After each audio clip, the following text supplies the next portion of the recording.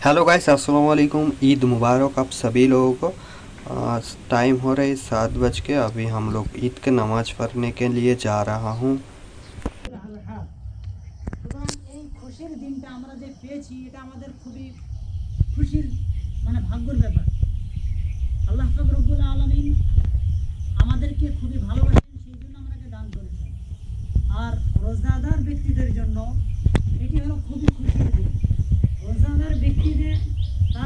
अल्लाह फकरुल आलमीन समय मोनी करीमुल्लाह ইমানি হালাতে বিদায় হতে পারে তৌফিক প্রদান করেন মোনি করিমুল্লাহ সকলের সকল রকম ইবাদত